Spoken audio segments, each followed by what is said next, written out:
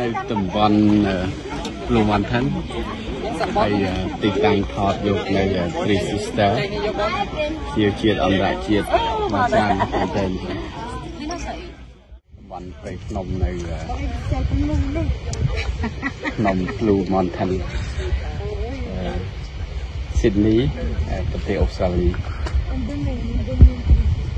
ទេសភាពនិងអាកាសធាតុល្អ ហើយមានគេជិះត្រកដើម្បី